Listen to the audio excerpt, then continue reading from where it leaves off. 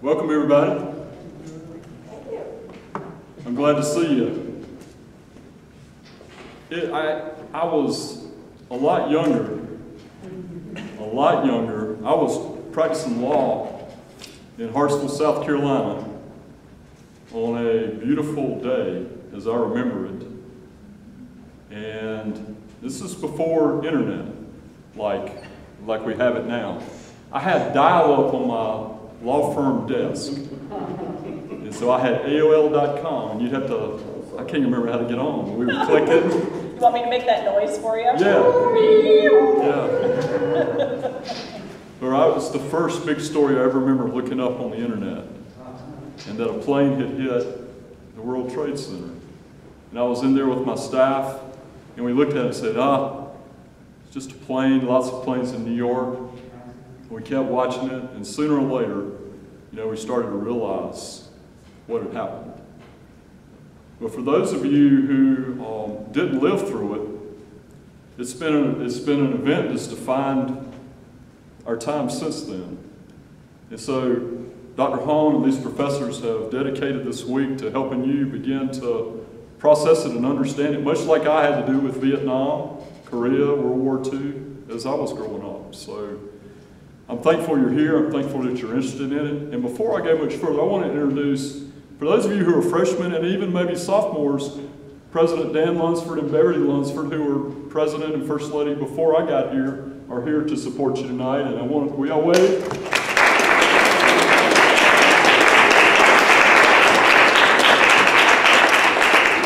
They are still very active in the community. They live here in Mars Hill. They come to a lot of sporting events and they come to things like this, and we appreciate y'all supporting us. And they also support a lot of scholarships, so thank you for that.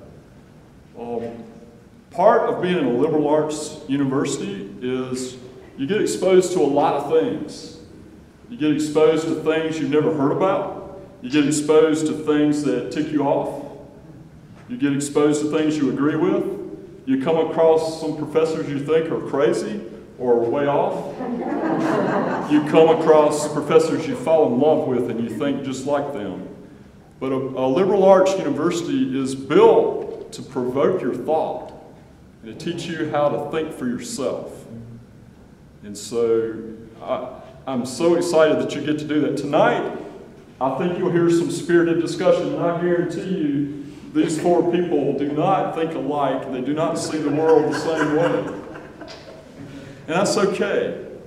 And in our world that we're living in right now, it doesn't seem okay to express yourself and then 50,000 people on Twitter condemn your point of view. We all have grown up differently in different communities, going to different events. Some going to church, some not going to church, some going to athletics, some not in athletics.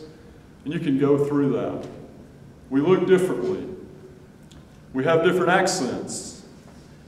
But y'all, tonight, we're all Mars Hill Lions. And my goal, our goal for you is to get to hear whatever takes place tonight.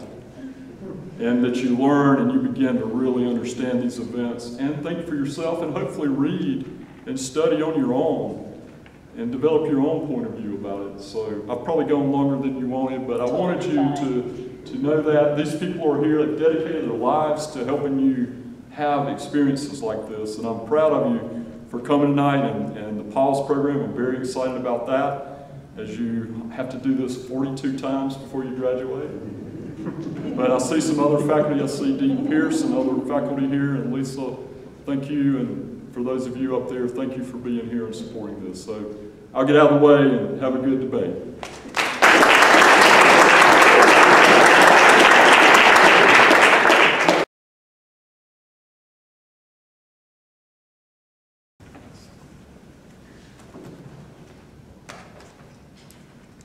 Good evening, everyone. Um,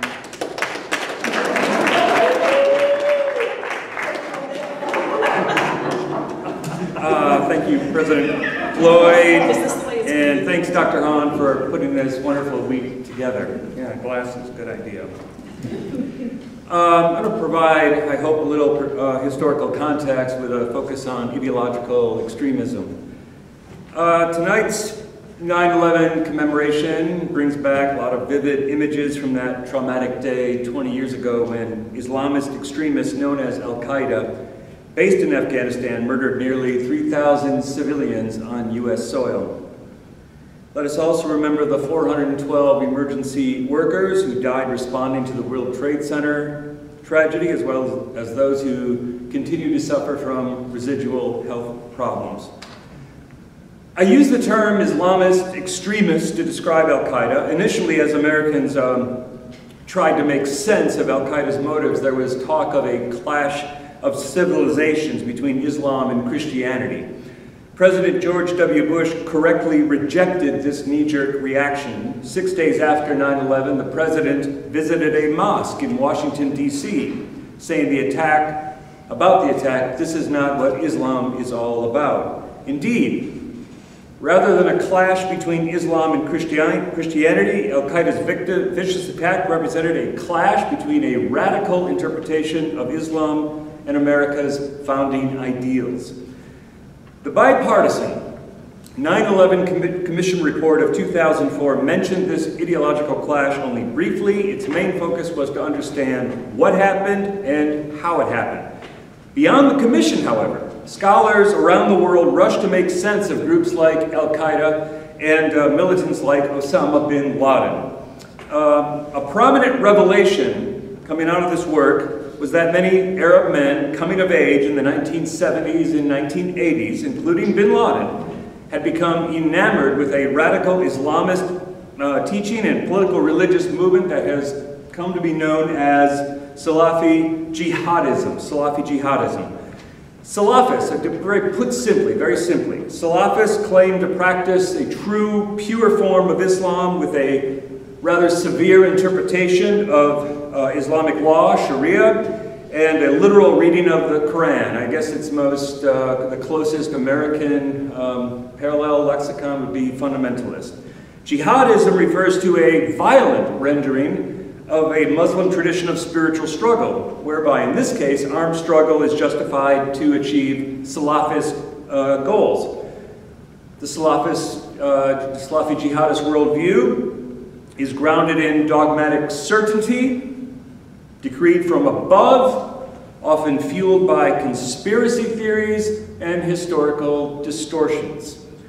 Now, contrast that with America's founding ideals, ideals, from the European Enlightenment with their emphasis on rationalism and intellectual freedom, on secularism and religious tolerance or separation of state from official religion with protection for personal beliefs, on democracy, or self-government emanating from the expressed will of the governed. The social order here then rests on a vigorous sifting and winnowing of, of evidence with the aim of attaining an approximation of truth. There's room to doubt, free to, free to inquire. In other words, the foundation and aspiration of a Mars Hill liberal arts education. So it's not hard to see the incompatibility here between Salafi jihadist um, ideals and Enlightenment values get rid of that. I'm not going to have any more slides. The course to their collision, however, was a winding one, which some of our folks here recall, but we need to recall that many young Arab jihadists rushed to Afghanistan in the 1980s to join a diverse coalition of Muslims fighting America's arch enemy at the time, the Soviet Union. The jihad in Afghanistan was a radicalizing accelerator for a lot of these fighters. So too was the Gulf War of 1990 and 1991 when tens of thousands of foreign troops, mostly American troops, flooded the Middle East in proximity to Muslim holy sites. In the wake of these events, Afghanistan, the Gulf War, Salafi jihadists dispersed to many countries with the goal of igniting a global jihad. Osama bin Laden, son of a billionaire from Saudi Arabia, was one of them. Bin Laden first settled in Sudan and then moved al-Qaeda's headquarters to Afghanistan where a Salafi, uh, Salafist extremist group, the Taliban, had seized power. From there, bin Laden declared it a duty for Muslims to kill Americans and their allies wherever possible. He called it a fatwa. Islamic scholars would say he is not in position to call that sort of thing, especially in this vein. Al-Qaeda bombed U.S. embassies in East Africa in 1998. And the USS Cole in Yemen in 2000. And then came 9-11. At the outset, President Bush gave the Taliban an ultimatum. Hand over bin Laden and al-Qaeda leaders or join in al-Qaeda's fate. In less than three months, by December 2001, the Taliban was crushed and al-Qaeda's infrastructure in Afghanistan was destroyed. Power vacuum. This power vacuum, however, also dictated that some kind of nation building was necessary to thwart the Taliban's return. 20 years later, after $2 trillion in the lives of more than 2,500 U.S. service members and 50,000 Afghan civilians, the Salafi-oriented Taliban has returned. Uh, as Americans grapple with what went wrong in Afghanistan, any analysis of 9-11 and its aftermath unavoidably traces back to the problem and challenges of ideological extremism. The 9-11 attack resulted from extremism of the Salafi jihadist movement in Islam. And U.S. nation building in Afghanistan, for good or worse, was guided by the goal of preventing a return of the Taliban and al-Qaeda and their radical ideologies.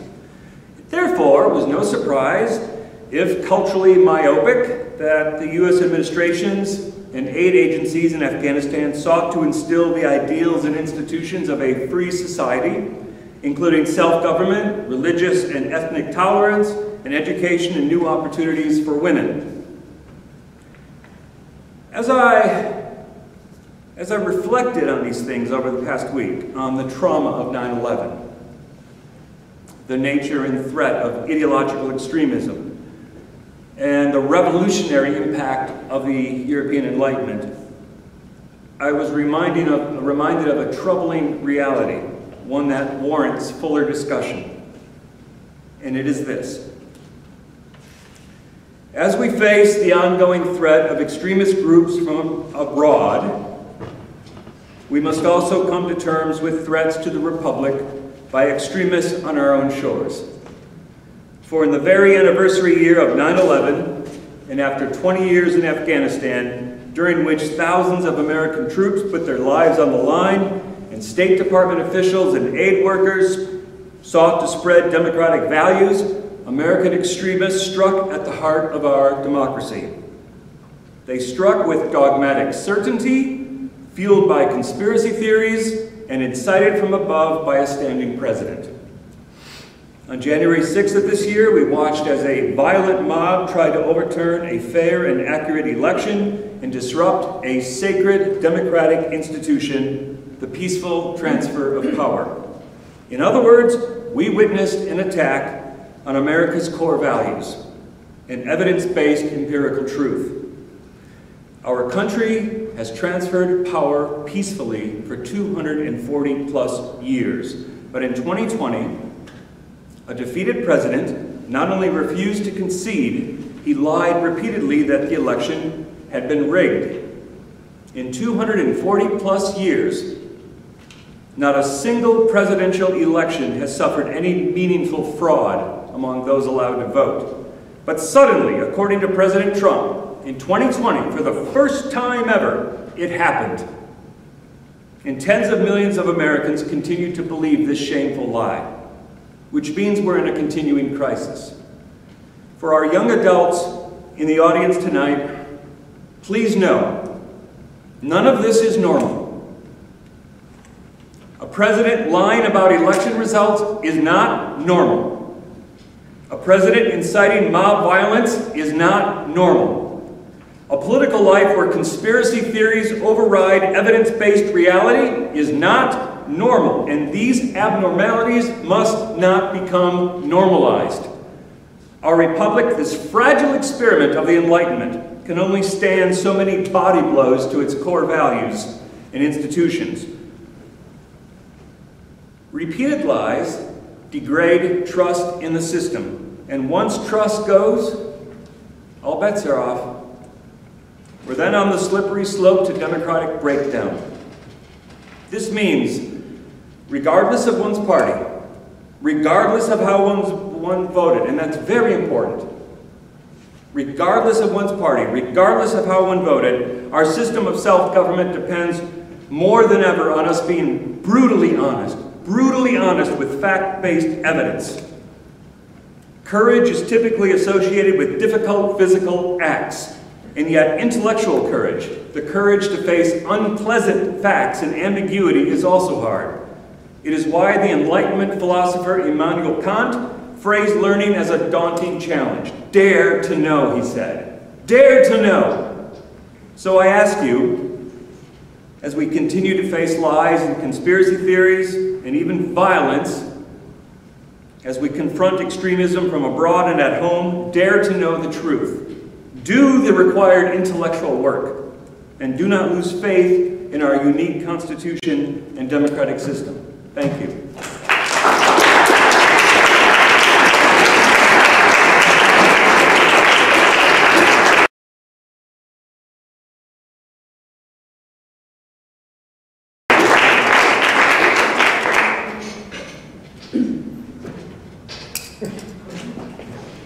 That surprised anybody, it shouldn't. Good evening. Mine may go a little different route. I will always, I will remember never to follow Dr. Gripentrog. That was, that was awesome. If I took a test on, it, I think I probably would fail on it right now.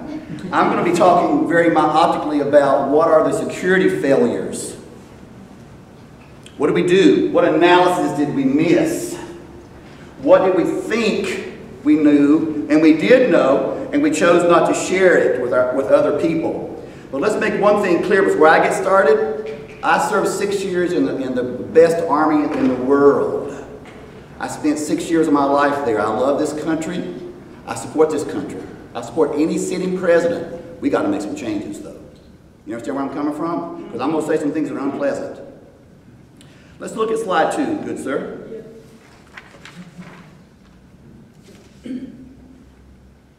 Two. Oh, there's, there's two. Bless your heart. I thought I was on dial-up for a minute. Okay. KSM, and if I pronounce, mispronounce somebody's name, I don't want to hear it. I just don't want to hear it, okay? Because I'm going to. I'm Southern. I'm going to mispronounce the name. I don't want to hear it, okay? Done. All right. The, the first slide is talking about an aspect of 9-11. The planner for the attack, Khalid Muhammad, KSM here on out, KSM, came to the U.S. and obtained a degree at a very nice institution in engineering. He understood the visa process. He understood that you could carry a box cutter and knives on the planes because he did it multiple times and never got caught. The one time one of his people did get caught, all did was confiscated. He knew how weak we were at the airport. While planning it, he knew that our airline security was more about saving money, as it is now. He's still in Guantanamo. He had a hearing yesterday. Yesterday! Okay. He has confessed. But this is on a military tribunal system. It is not, it's not like any type of law or understanding that you know. UCMJ is a different world. Key takeaway. He knew we were weak, needed a warrant to get information. He played that against us. He knew that we didn't talk well with one another. The FBI, the CIA, and the NSA, National Security Administration. I will spend most of my time there. We did not communicate well. We still don't communicate as well as we need to. And that's, that's one of the tragedies that went on during this, this thing from there. Slide three, please, good sir. FBI plays man on man.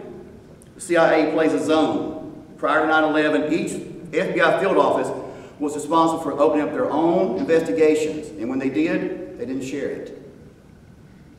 If I was in the FBI in Miami and I opened up a file on a mafia man who had a brother in Denver, I wasn't sharing it with the FBI office in Denver.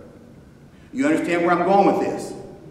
We didn't share the basic information to keep us safe, and it comes down to ego. The irony of this is the FBI had opened seven files on 19 of the hijackers already. and not shared the information. Some had stopped suspicious activity, but they didn't share it with local law enforcement, so they had no clue. Some people had gone to flight schools and had been reported to the FBI as being suspicious. Embry-Riddle in Daytona Beach, Florida. One went down there and says, I need to learn how to take off. Not as much interested in how to land. This was reported to the FBI and not shared.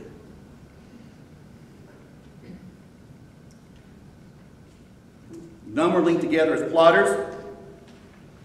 They had information, couldn't share it. And here's the other thing. Airlines were responsible for their own security.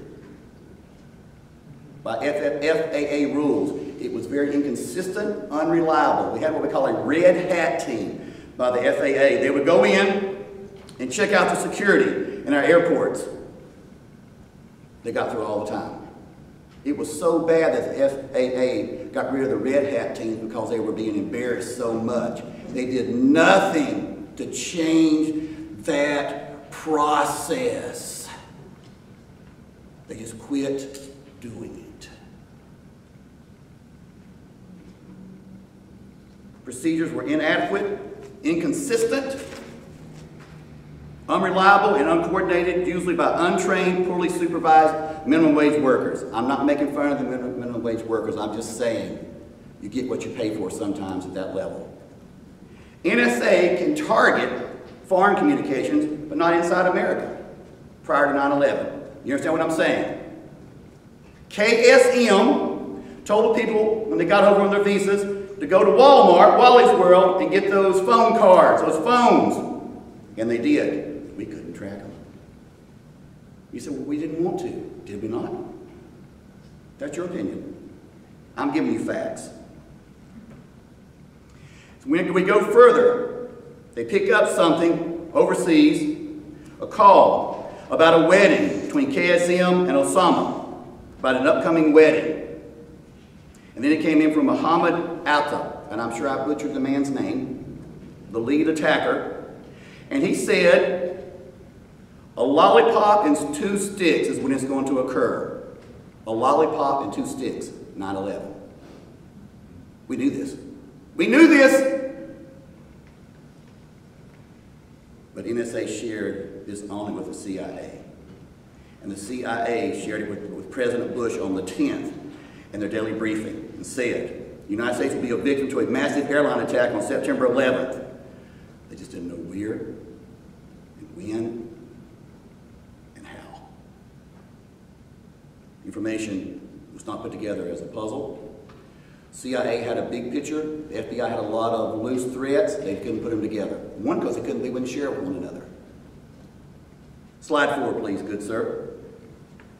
For the FBI and law enforcement in general, investigating information can't be shared because it's very confidential, right? We have people in deep cover all over this world.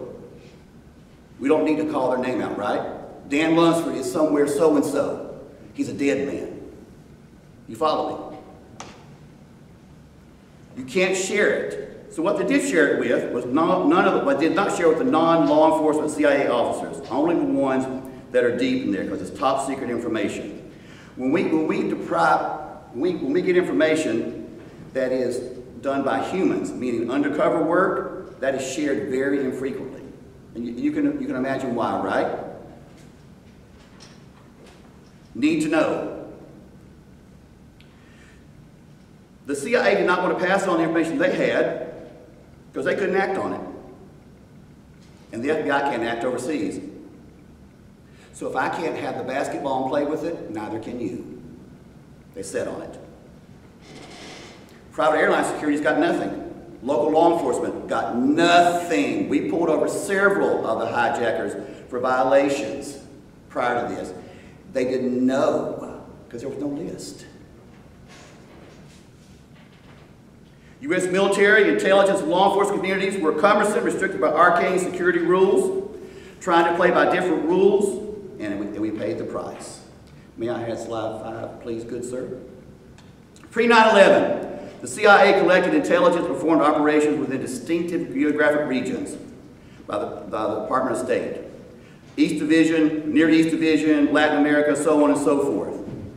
However, anything working overseas was not well funded. It was global, we didn't fund it well.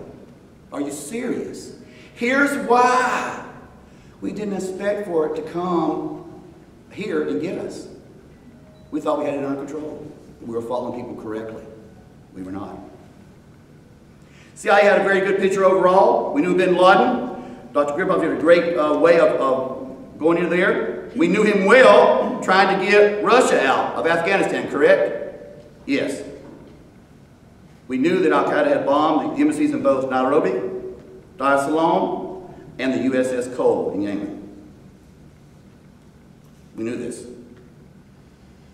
But the covert action authority given by the President, only by the President of the United States, for CIA to take care of operatives overseas, had not, had not been authorized. That's where it comes from, not Congress. Now pay attention to me as we go come back over that, because that's a very dangerous statement I just made. Do you understand what I'm saying? The CIA only answers to the President of the United States of America. And when that covert action is given, the gloves are off. I'll explain it to you in just a minute. They did say, though, the CIA counterterrorism said to the Director of Central Intelligence, to George Tenet, brief President Bush, all the lights are blinking, which means we have enough information to know we're going to get hit. But they didn't know where. They didn't know they, were, they didn't know the hijackers were already in United States of America, ready to go. They already had their plans made, how they were going to go and what their targets were. Swallow that just for a minute. The best intelligence agency in the world did not know because we didn't share the names. They also had no idea that the planes themselves would be the weapons. They took planes from the East Coast bound, bound for California. And if you could sit through those two movies that Dr. Hawn put on, they were great, but God, that was hard on my depression medication. They took planes bound for California because they had more jet fuel on it. Well, if they knew that, why didn't we? Why didn't we? We're not paying attention to that. That's not a hard draw, is it? Remember my first comment, I love the country, I'm just, I'm just being, I'm just giving you the facts from my opinion. Slide six, good sir. Like all previous Al-Qaeda attacks, CIA believed, CIA believed it would happen overseas, not in the United States of America. Not on my back door. No info shared. In addition to FBI highlighting their presence in the U.S. to the CIA, there was no screening mechanism available for the airlines to see when people were coming and going that were shared. Even now, that's a false security. Political will. The Clinton administration was very concerned about the potential collateral civilian deaths. Now, this makes you uncomfortable. Good. When I say collateral civilian deaths, I mean just that. If we have a target to take out and five or six other people have to be around it, swing low, you're done. Cold or fact? Fact.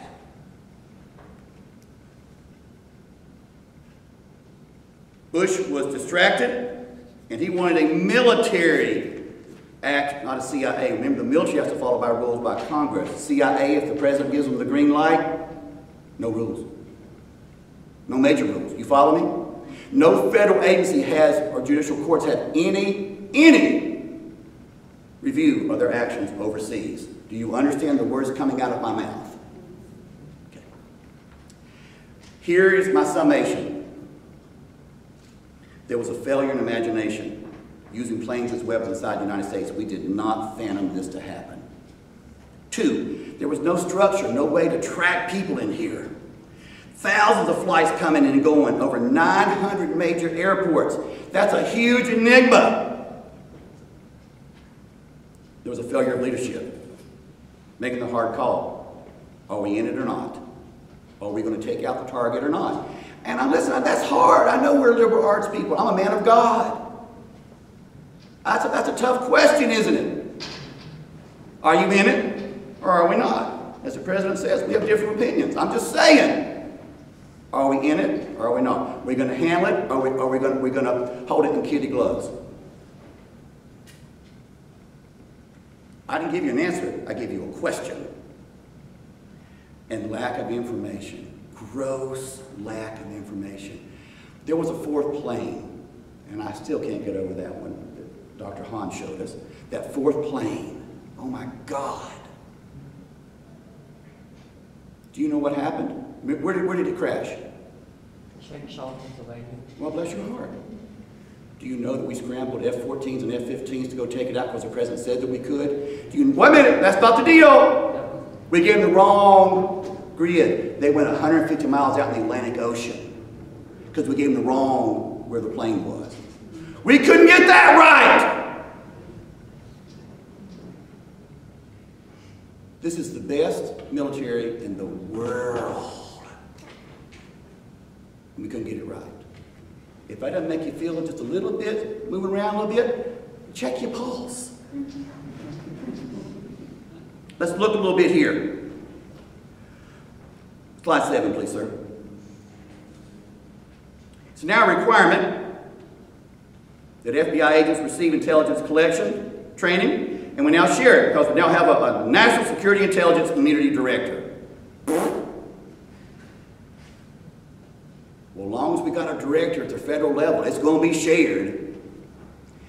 Just like FEMA made it to, to the, the uh, hurricane stuff years and years ago. We had people dying on bridges. They were locked up in jails for 30 days because we, we forgot about them. Don't you tell me how excellent we can be by the federal government getting to things on time. Do your research, history on that. Prove me wrong on that, please. We now have author- authorized the covert action for the president. Vice President Cheney says we're taking the gloves off. They now have authority, CIA does, to locate and eliminate the target. Use it by drone. Did we use drones just the other day? We most certainly did. We're using drones right now. You say no. You don't know. You don't know that. The SEAL team may be slipping off right now somewhere that you don't, you don't have any clue. Right now, slipping off in that water. You hear them? I hear them getting in the water. They're going for a target. You'll never know. You say, do you need to know? That's a conversation that I can't have with these people right here. Okay? All right? Under Title 50 of the United States Code, this can happen. We do this very, very well. Maybe, maybe we should look at it now. Maybe, maybe you can't run as well as you used to. Maybe you can't hide like you used to be able to. NSA has been unleashed. And that's a little scary for me with the Patriot Act. And I don't have time with the Patriot Act. I mean, it is long. But in essence, NSA now has an easier time tapping information if they think it's a terrorist. Matter of fact, if they want your records, if a federal Homeland Security investigator wants your records here, they can get it without a search warrant. I'm sorry, did, what, did you hear what I just said? Prove me wrong. Game's changed. Collateral damage is now acceptable if the president says so. Collateral damage is now acceptable if the president says so. Let that ring, let that ring in. Let that ring in. Slide eight, good sir. You're doing a great job too. I don't know what it is. I'm, I'm, I'm not watching you, sir. You- You're, a- you're a Mars Hill person. I figured you got me going. Sure, looks good to me. Slide eight. Come on, Vanna. Okay. When you, what you have didn't work, you start over. We created the Department of Homeland Security. 33 different departments now report to them. That's a GLOM. Supposed to work really well. And it probably does a little bit. Costs us billions of dollars. I'm not saying we don't need it. I'm pro-military. The better Air Force we got, the better we're going to have freedom. Now, you don't have to agree with me, don't care. That's me. Maybe it works, maybe it doesn't. TSA is supposed to work. Really? Who's on the watch list besides me? Who's, who's, who's on the, who's on, are you, I, I put you on the lot list too, Dr. Hunt. I got a metal knee. Since I set the machine off twice, I'm on the list. I can't get on an airplane without being patted down. I think they like me a lot. Okay. We, we've moved on from there. Try to make a little bit of humor because this is, this is a hard subject for me. The jury remains out. We'll see. Our 20 year anniversary is coming up, right? And guess what some of our best analysts are saying right now? They're saying the lights are beginning to blink just a little bit. Just a little bit. For the anniversary. Are we sharing? Are we taking care of business? Are we taking, are we looking to see where we are? We are better. We do share it with local law enforcement. TSA has a direct line. All those things are doing. I'm not saying we're not trying. But we've got to be careful. What you got to ask yourself is, are you okay with uh, Title 50 United States Code Covert Action Authority to eliminate terrorist acts that your government says is a terrorist? Are you okay with sending people over there that are going to eliminate the target? Now that's, that's politician where we're going to kill you. Eliminate the target. means we're going to kill you. And if your mom and your sons are there with you, who cares? You're the target, you're coming out. Are you ready? Are we, are we, are we, are we ready to do that? Are we going to have to do that? Who makes that decision right now? It's the President of the United States of America. Y'all better, y'all better, y'all better pay attention. Because my generation's blown this. Y'all gonna have to fix it. Oh yeah. You're welcome. the FBI wants to prosecute within the judicial system. CIA wants to eliminate the target. The president has to make a choice. Which one's he gonna do? We know, in closing, we talk a lot about these foreign terrorists. Our worst terrorist right now we have is a white male with military training in the United States of America. You ain't gotta like me about that. You don't gotta send me a Christmas card. I'm just telling you it's the truth. Understood? We gotta be careful where we're going. How am I doing on time, Dr. Hawn? Am I still all right? Okay. In closing, you always like when a preacher says that. They're always lying, by the way. They always got two or three other things left. In closing, America is an open country. The door's wide open. So don't be surprised if somebody comes in. I think that's okay. We're a country of immigrants. Did I upset you? Oh. You're, you're breathing heavy. My Republican friend took a deep breath. I've upset him. Some serious Okay. okay. Comes in. My point is, don't be surprised. We know people come in, right? Yeah, yeah. We work under something called a social contract. And for my students, if you don't know that, I hate you and I hate me. Hard to please it. America is still the target. In 2000, 50% of all the terrorist targets was the United States of America. Their assets. Because we're at the top of the flagpole. And when you climb to the top of the flagpole, there's one part of your body showing, and people take shots at it. You understand what I'm saying? And do we have we have we pissed some people? That's not appropriate word with the president, the other president being here. Have we agitated other people in the past to do that? Maybe. Yes. Cost us billions of dollars to do this war. Are we winning? Are we winning? I don't know. Can we stop? I don't know. But don't, don't send me something in the mail saying you want to close a military base. We're no longer friends. So we got to we got to reduce it. Yeah, you, you not to have another solution. And I'm a lifelong Democrat. He's going to hit me in the back of the head. I understand that. He, he can't stand this close to a Democrat without me rubbing off on him. I understand. let me get, let me close. Let me give you something positive to close with. You ready? Yep. Say yes. Yep. If you knew how many plots our intelligence community keeps from happening in the United States of America, you'd give them a, a round of applause. There are water plants, nuclear plants, all kind of stuff that they saw, but they can't put it on TV. Because the idiots will get out there and explain how they broke in and did it. It's freedom. Baloney! You can't show your vulnerability all over the world to copycats and expect them not come to get you. That's second grade logic. Anybody got anybody in their, in their family is in the United States Navy, the best Navy in the world? Anybody got a, a friend or a family?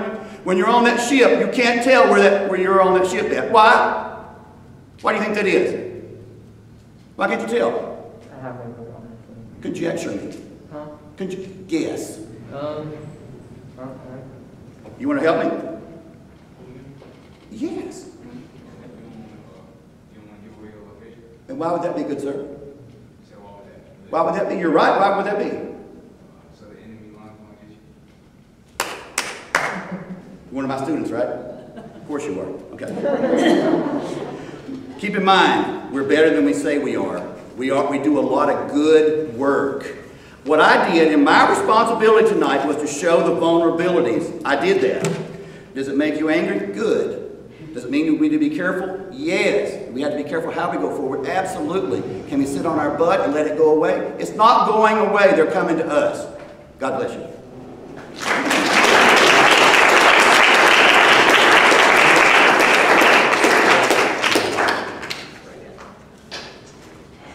I tell you what, the, the rhetoric of these last two people are, is pretty high. I think they're going to need another round of applause.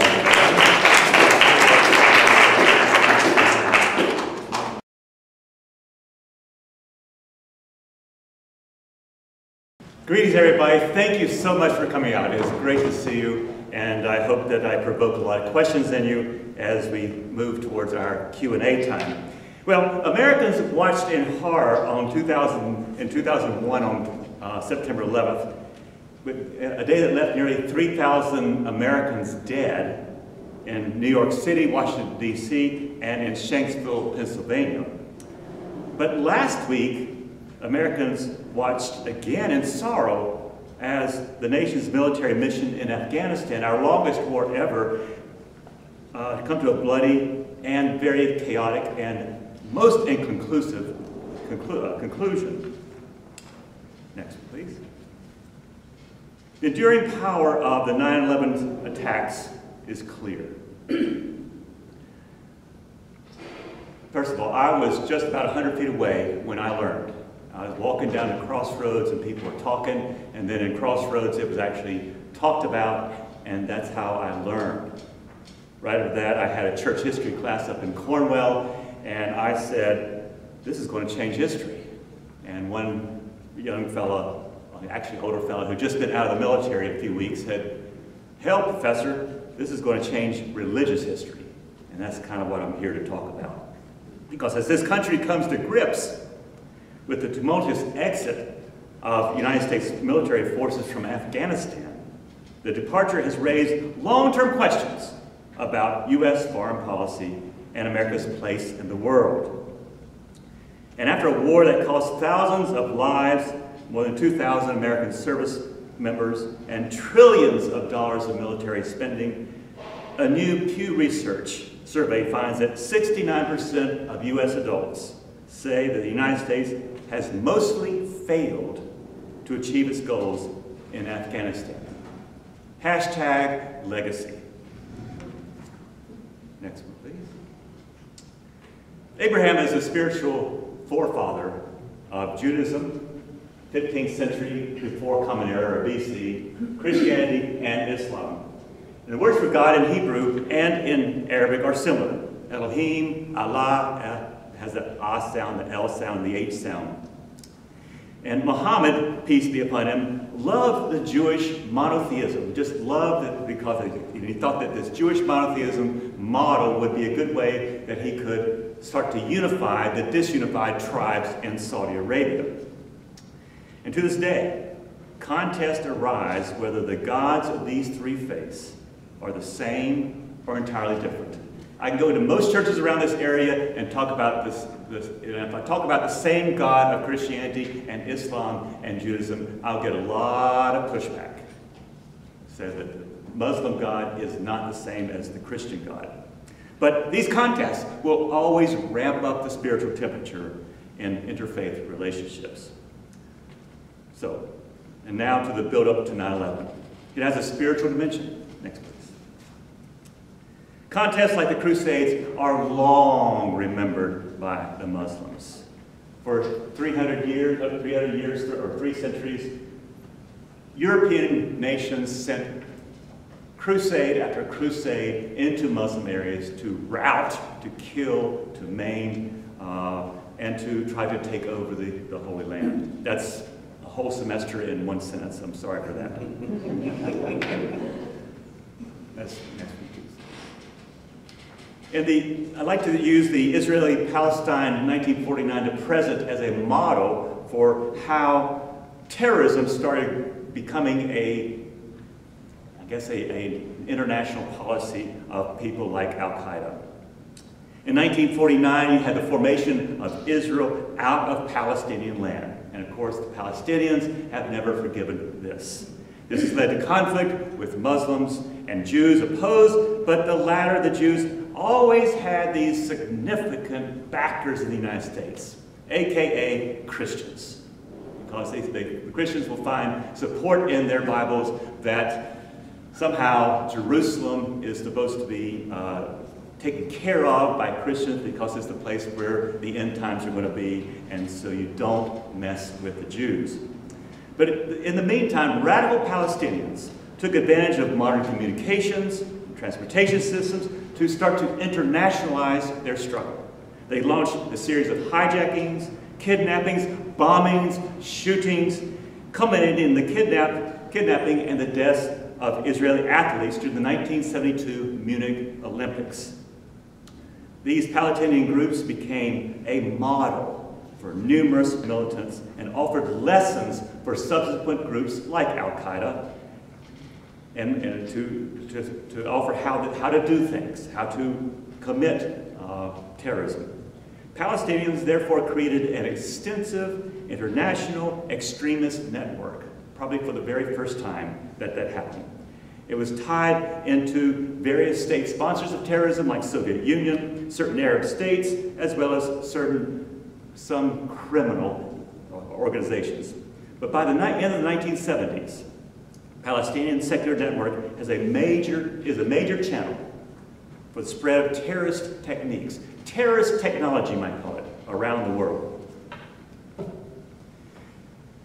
We started noticing the United States in 1979 with the Iran hostage crisis. 444 days. It was came at the very end of the Jimmy Carter administration. It ended on the day one of President Reagan. So it, it, it led to a failed presidency, if you want to call it that, of Jimmy Carter. So this is something that it, it caught our attention. Who are these Muslims? What, who are these Islamic extremists? We had to start finding this out. Next one, please. In 1993, the World Trade bombing, did y'all know there's a bombing in 1993? Six people were killed, thousands were wounded, or thousands were wounded. 50,000 people had to evacuate the Twin Towers.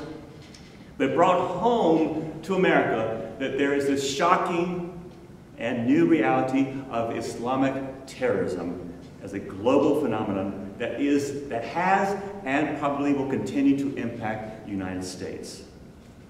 The absolute scale of this, the planning, the implementation, uh, was only broken by some really bad planning on one particular part by the, by the uh, bombers. They, uh, they let, let it be known where they rented the van.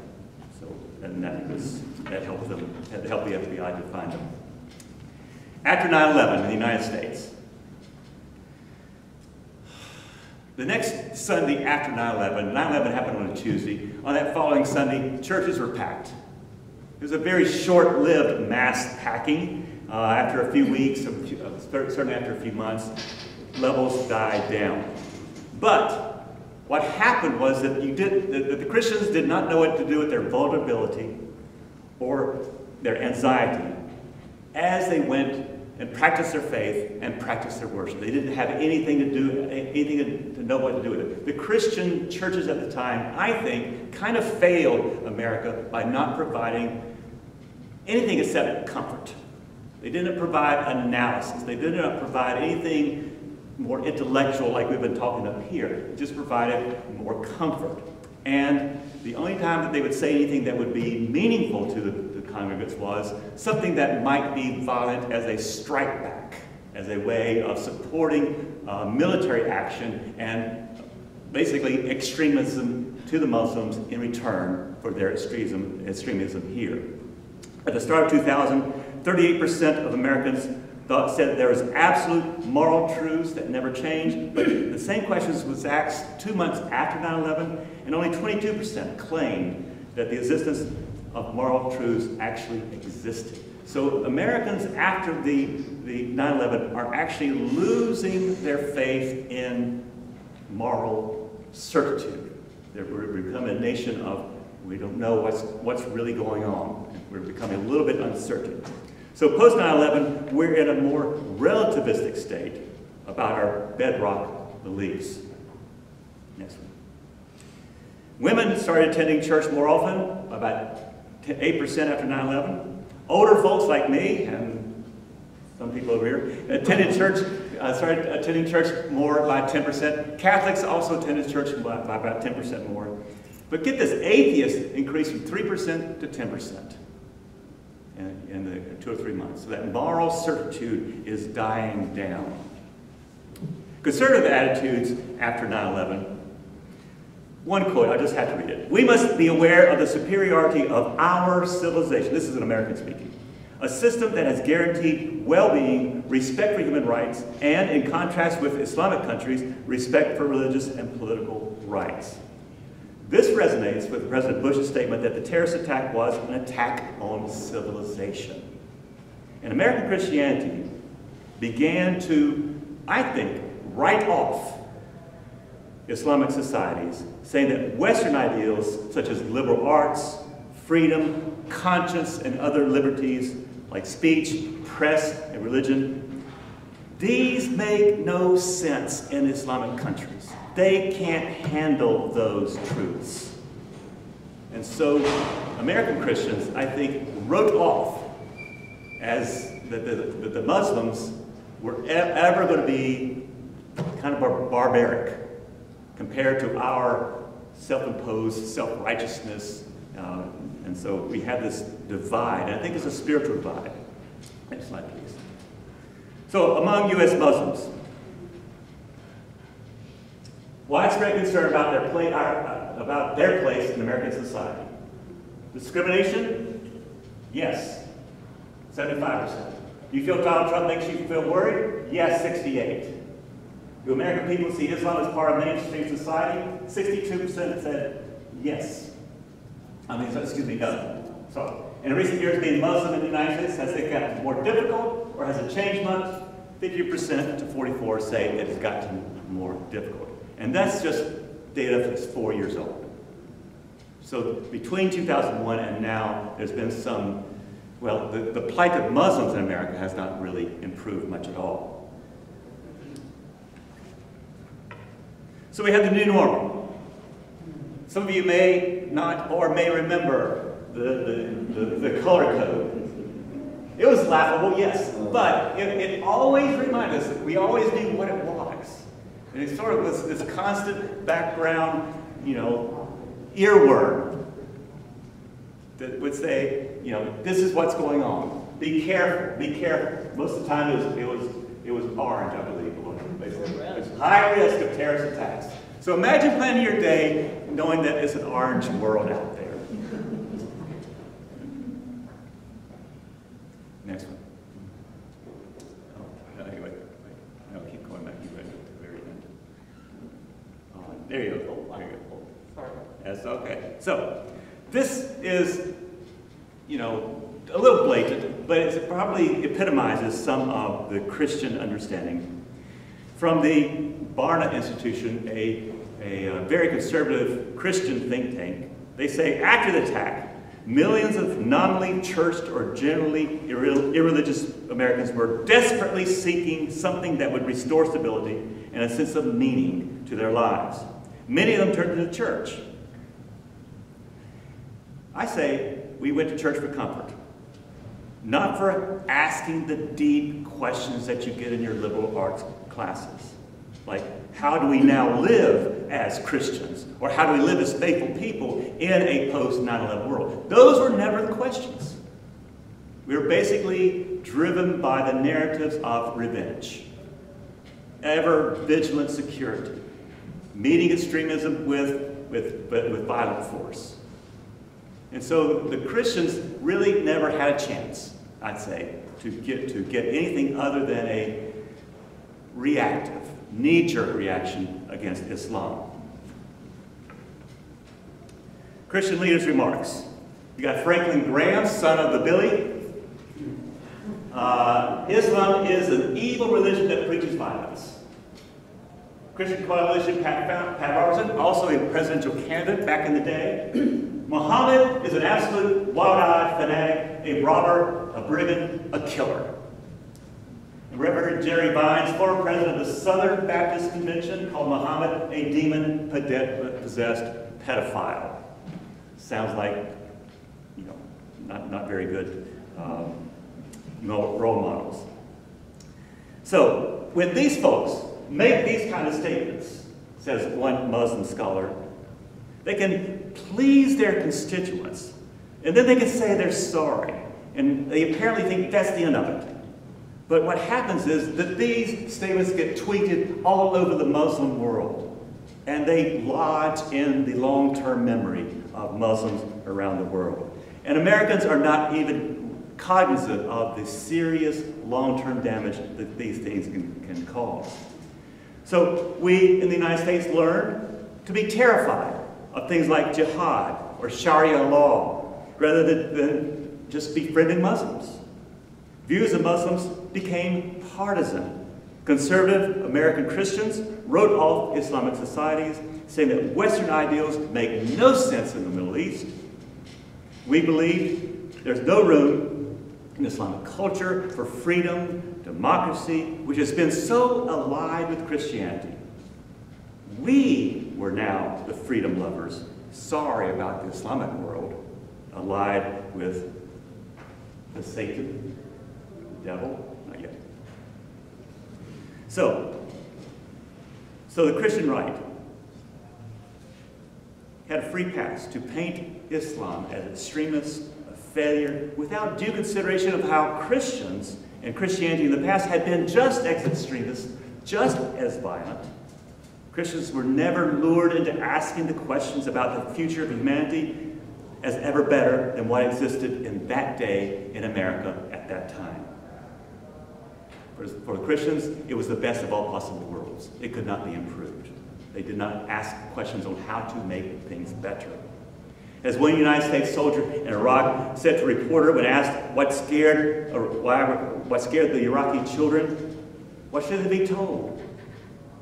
And he said, what, he said, what should they be told when they hear U.S. helicopters above, the, above their houses? And the soldier says, tell them it's the sound of freedom. As you would say, let that sink in. Let that sink in. Next one. This is only 100 miles away. This sign went up 100 miles away. Catawba County. Such Christian attitudes were both fruit and also future seeds of future antagonism and continued violence against Muslim peoples. America's methods of trying to eradicate terrorism with war instead of understanding or goodwill efforts, that engaged other people around the world in ways that probably was not the best they could, it was not our best time. It was not our best first foot forward. We could only fuse Christianity with the United States, the United States of America, with freedom, etc. But every time we saw Islam, we fused it with barbarism. And, and Muslims could not be anything better than barbarous.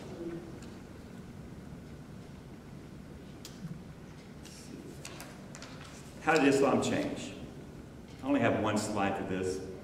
The, it's hard to, to do it country by country, but in general, U.S. Muslims, by every count, still have a lot of discrimination.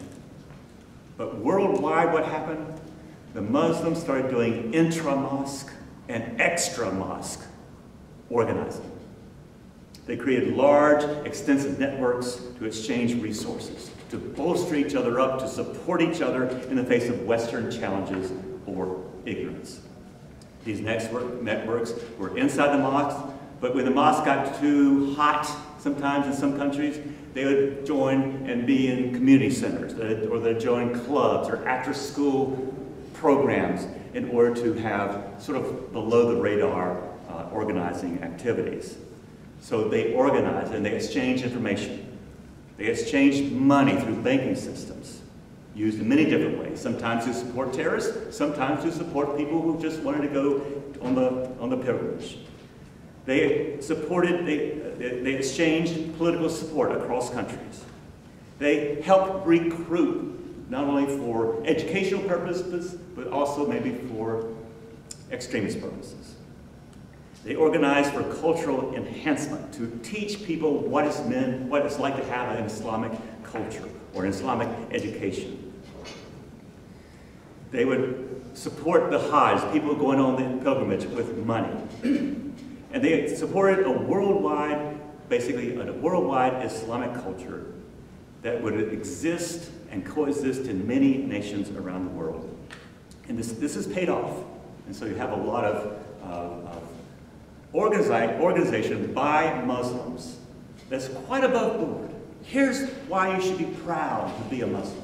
Here's what's good about being a Muslim. Yes, of course, the extremists come along for the ride, but it, so many people have been helped by this organization around the world.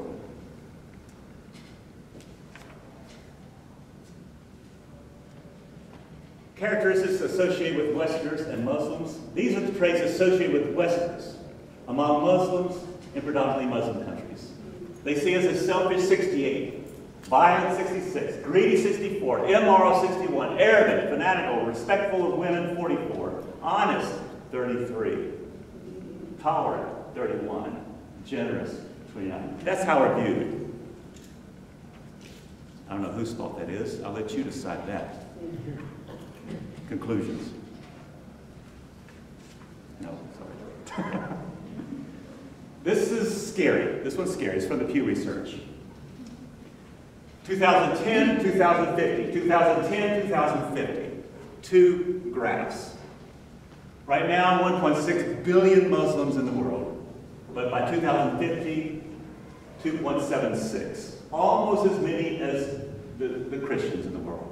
Right now, there's 1.7. It's going up, not as fast, but in, in 30 years, 29 years, there'll be almost the same number of Muslims and Christians. But look at this. Percent of the global population, Christians are still at 31.4 and will remain at 31.4. Percent of total population. But Muslims are going to go from 23.2 to 29.7 of the percentage of, of population. These, these projected changes.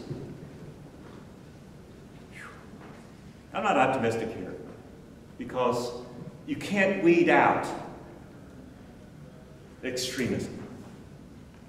Extremism, extremist Al Qaeda, ISIS kind of Islam is going to go up in with this, especially if they see the United States as being opposed, not willing to understand, and meeting them only with force. So American Christianity failed to start seeing things. And so when you have folks that start that fail to start seeing Muslims as real people, that sort of seeps into the culture. And it gets, it gets bred in the bone. And it's really hard to root out. You can't root it out today, I don't think. So if we have Christians that are going to be becoming less of a majority in 29 years, seeing the threat of Muslims, do you think we're going to say, bring it on, let's have a party, let's have a fest, let's, let's love each other? I don't think so. Because the last 20 years has not been a great legacy of open armed, trying to understand each other. Takeaway extremism is not going to go away. The, demographic, the, the, the demographics seem very clear about that. So, in conclusion, Christians in the United States, especially, don't see a God in common with Muslims. And thus, they have not practiced very well seeking common ground. you mentioned Samuel Huntington. Yeah. His Clash of Civilizations idea, his thesis says that, that civilizations are bound to clash. And that has sort of taken it over in conservative and Christ, conservative Christian uh, communities. That, that,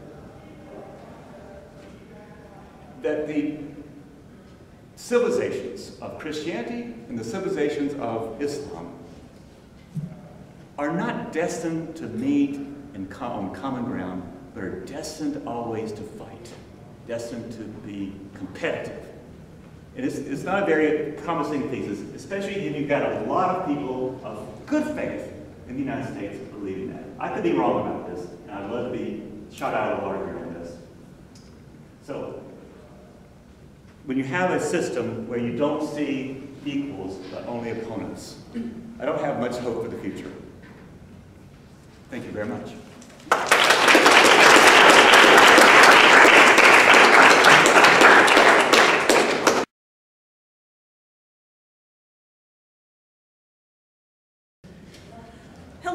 I'm Dr. Heather Hawn, and I'm going to stay out of the light. Um, thank you guys so much for coming, especially the students that were here the past couple of nights. We shared a little, some little tears last night, and I appreciate y'all um, coming and listening to what we have to say today. So hopefully we'll give you a little bit more insight. Um, yeah, I'm going to talk about the war on terror, and I'm going to do it in 15 minutes.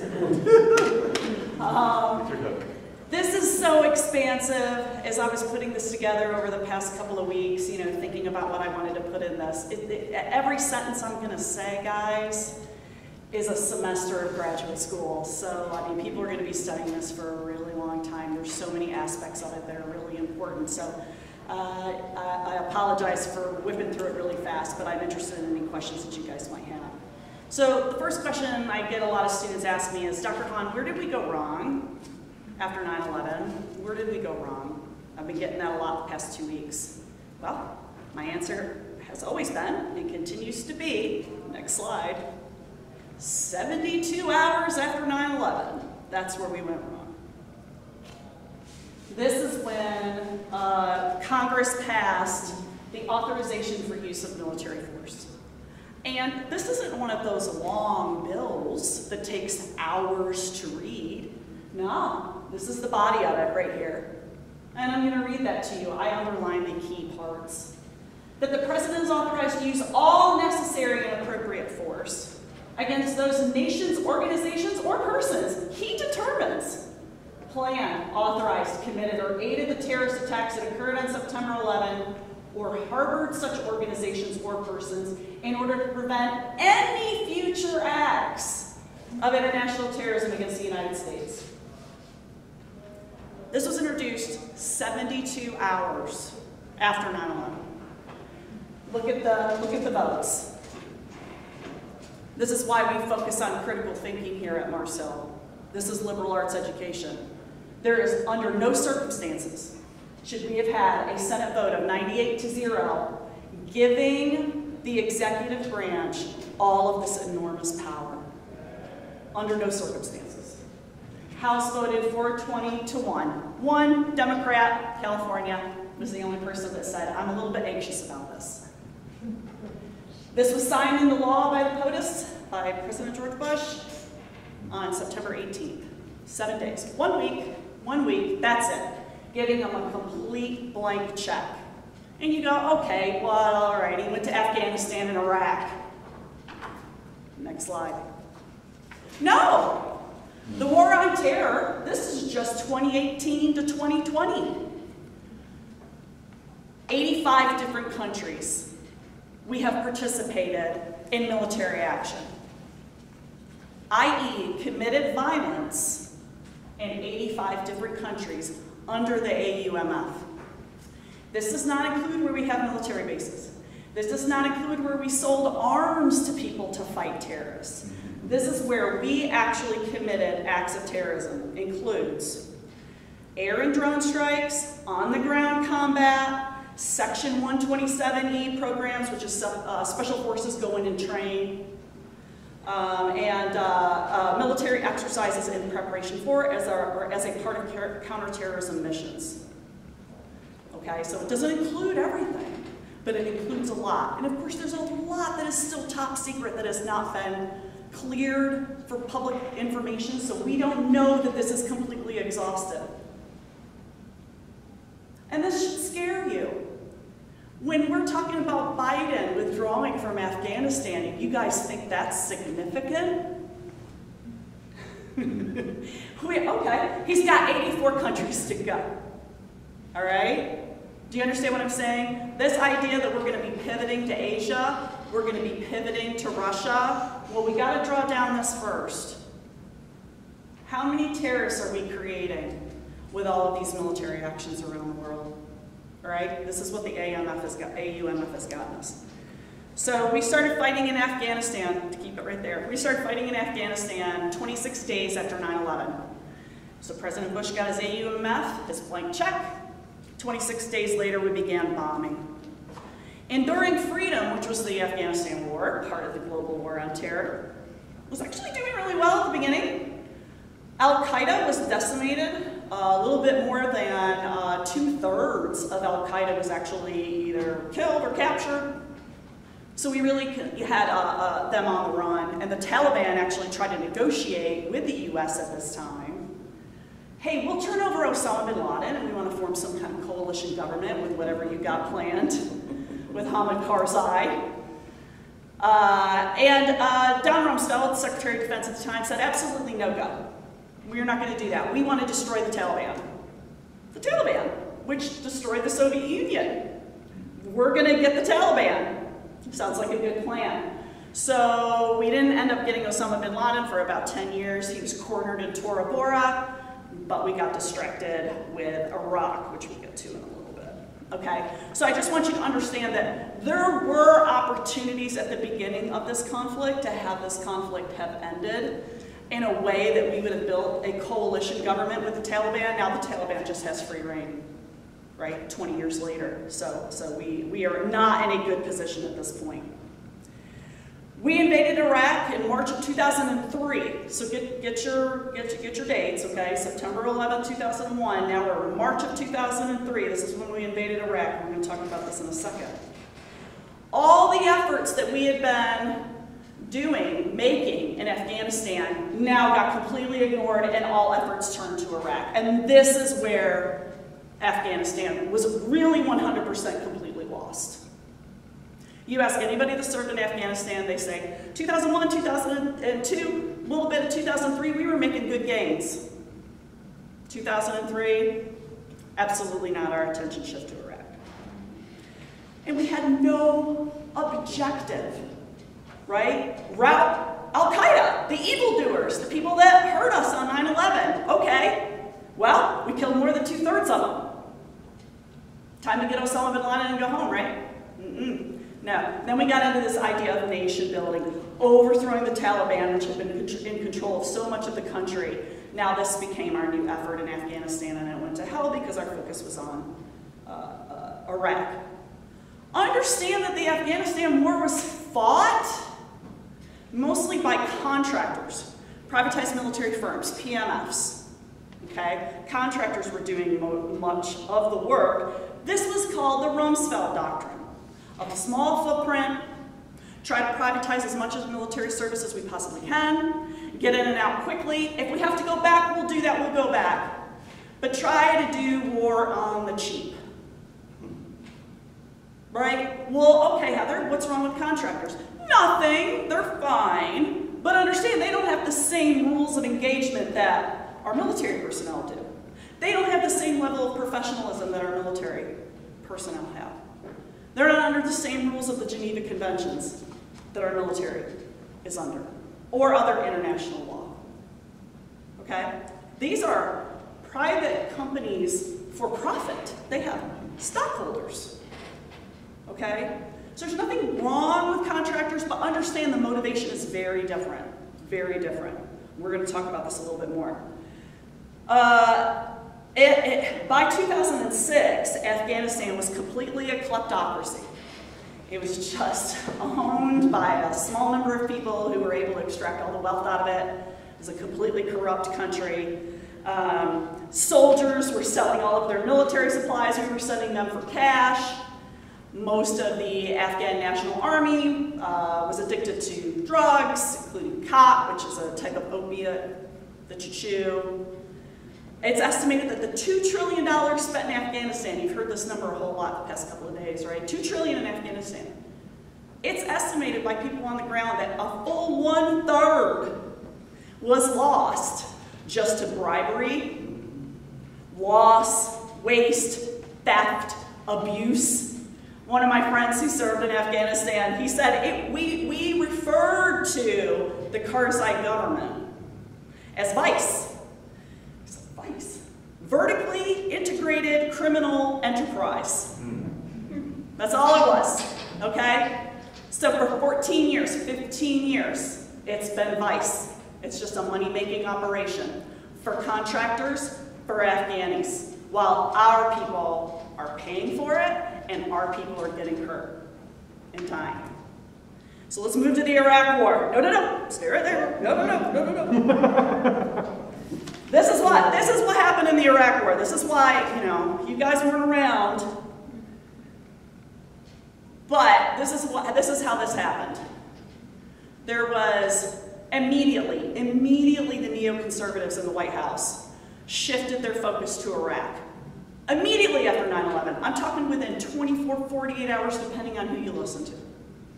The opportunity to remake the Middle East, to have democracies flourish throughout this very troubled part of the world. It's, this was just too tempting for them to pass up. Afghanistan isn't really part of the Middle East. It's Central Asia. It's a little bit far away. We got to get one in the middle of the Middle East. Iraq sounds good. Okay? So immediately under torture, which we'll get to in a second, under torture, you had Afghanis start to say, yeah, yeah, yeah, uh, uh, yeah, yeah, yeah, uh, uh Iraq was part of Al Qaeda. Yeah, yeah, yeah, whatever you, whatever you want to say. Okay, because you'll say anything under torture. And when I mean under torture, I mean injecting fluid in your arms so that you're super, super, super hydrated, and then urinating on yourself because they don't let you go to the bathroom and you're shackled. And then they crank that temperature down to about 30 degrees. So you can lay in your own urine and freeze. This is the kind of torture I'm talking about. All right? Um, and so people started giving this type of information, and then our intelligence services, as Dean Goforth talked about, started cherry picking information to build the case for Iraq. Iraq was now a part of the big network of global terrorism. So this started really in November of 2001, and then in January of 2002, we get the Axis of Evil speech. And I say this because everybody here over the age of 30 remembers this very well. This is when George Bush got up and gave his State of the Union address not long after 9-11 and said, there is an axis of evil. And we all went, wait, I, I remember axis uh, from World War II. What you, who's, who's the axis of evil? Iran, Iraq, and North Korea. Well, that just sounds like three countries you pulled out of the hat. And in fact, he did, right? These three countries are responsible for all this terror that was occurring throughout the world. And we needed to start at least with one. Iraq is number one. Secretary of State Colin Powell gave a speech to the UN February of 2003. Okay, so we got September 11, 2001, Axis of Evil, January 2002. Colin Powell goes before the UN 2003 and says, makes this grand argument with all of this information, photographs, testimony, all kinds of stuff, right? That they had chemical, biological, nuclear weapons. They even had missile capability. They weren't building dirty bombs. They were going to send ICBMs right here to America in Iraq. Okay? And here's Colin Powell, Secretary of State, and now, now, he says, I, I, I was completely taken advantage of because I had an enormous amount of legitimacy with the American people and they used me. They used me for my legitimacy and my honesty. All the social capital I had built up with the American people over decades of service. Damn straight they used them. This is what happened. You're thinking to yourself, why didn't, why didn't anybody stand up and say, wait a minute, this sounds like bullshit, this just this does not sound right. How does Iraq have nuclear missiles and we're just hearing about this now? Well, some people were saying stuff like this. Joe Wilson was a former diplomat and an investigative reporter, and he published, look, I went to Niger where they said they were buying yellow cake, Iraqis were buying yellow cake uranium to be able to make nuclear weapons. I went there, I talked to all these people, and they were like, yellow cake, that's something I had for my birthday. I don't know what you're talking about. so he publishes this, right? Publishes it. Dick Cheney, incensed, Vice President Dick Cheney, incensed, tells his advisor, Scooter Libby, leak to the press that Joe Wilson's wife is Valerie Plame, an undercover CIA agent. That'll teach you. That'll teach you. That could have gotten her killed. That could have gotten other CIA agents killed. That's treasonous behavior because you are so committed to your lie that you don't want anybody to challenge it. Do you understand what I'm saying to you guys? The mainstream media was so completely asleep at the wheel. Just completely asleep at the wheel. There was, there was, there was no challenge to Don Rumsfeld's ridiculous press conferences. Ridiculous. Insulting press conferences. None. You get into Iraq, it was immediately clear there was no weapons of mass destruction. We all waited, remember? We all waited for the big announcement. We found the missiles. We found the biological weapons. We found the chemical weapons. Those announcements never came. Everybody kept saying, well, where, where are they? Where are they? Oh, they're, they're here. We know they're here. Don't worry about it. We're going to find them. Months went by. Months went by, you guys. Remember, months went by. No revelations, right? So, oh, oh no, we, you know, we were, we were talking about biological weapons. Human rights.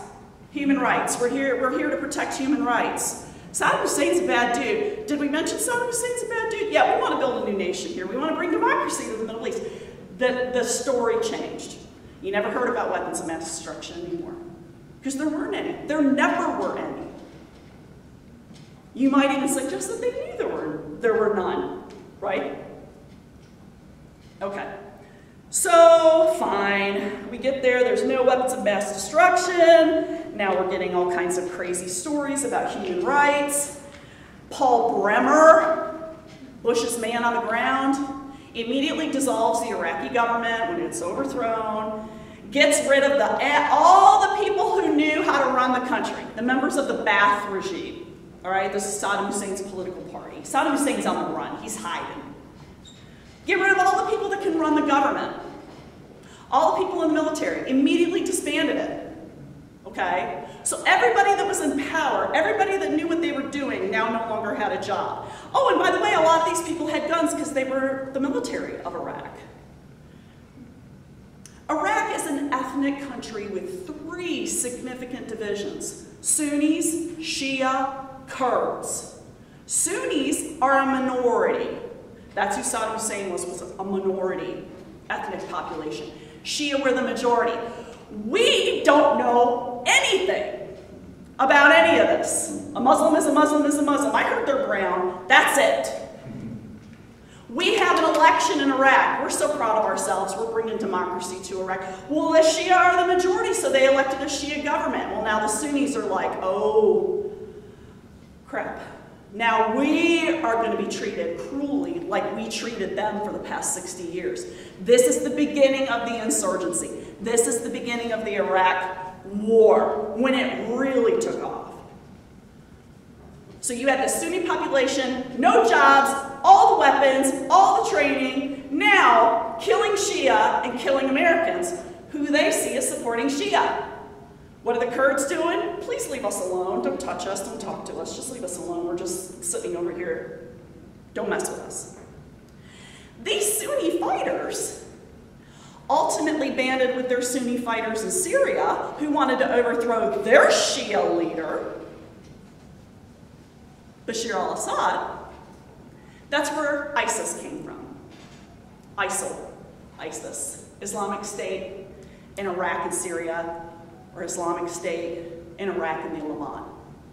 That's where that came from. Sunnis meeting in the middle between Syria and Iraq in forming this uh, horrid regime that killed an enormous number of people. Again, back to the contractors in Iraq.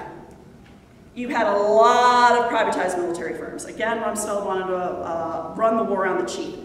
But there are a couple that I want you to remember, and if you guys have to write papers for Craig Goforth or somebody, just do some research on Blackwater. Just do some research on Blackwater. This is a paramilitary organization run by Erik Prince. You guys heard of Betsy DeVos, the intellectual Secretary of Education that we had in the last administration? This is her brother, Erik Prince, ran Blackwater. It's, it's uh, based out of eastern North Carolina. They hire ex-military and will, will rent them out to the highest bidder. Anywhere in the world. Doesn't necessarily need to meet American interests at all. Blackwater, um, because they did not follow military protocol, were involved in an, an enormous number of tragedies in Iraq, including uh, Nisour Square, which was a, a Blackwater uh, SUVs or driving through the square, a tire blew, they jump out, start shooting everybody, civilians were killed right there in the middle of downtown Baghdad. Two Blackwater contractors were traveling through uh, central, central Iraq, they went through a city of Fallujah, which was a city that for years the American military had been working to create partnerships and relationships to keep that, it's a very large city, to keep it safe. These contractors went through, of course they get shot, killed. Those two years now are gone because our military had to go in and basically kill everybody in Fallujah. This, this is the fault of Blackwater. They have no responsibility for any of this. Kellogg, Brown, and Root, this was a huge company that was a division of Halliburton, and Halliburton, their CEO was Vice President Dick Cheney. They got no bid contracts to rebuild Iraq. Money right in Dick Cheney's pocket. Okay, this is a money grab, guys. You're exactly correct.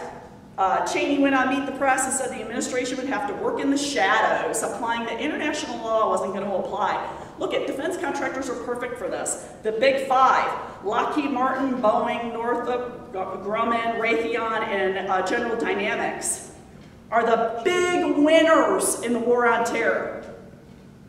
Lockheed Martin made $75 billion in profit just in 2020. One company, one contractor, $75 billion. Do you know what the Department of State's budget is?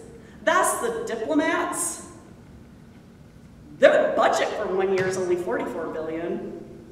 One of the top five contractors made $75 billion in this war on terror in one year. COVID didn't slow them down. Nah, don't need to take a break from killing in the pandemic. Uh, a set of legal memoranda came out, the torture memos. These were written by Assistant Attorney General John Yoo. Uh, they advised the CIA and the Department of Defense and the President on the use of enhanced interrogation techniques. This is the torture I was talking about earlier.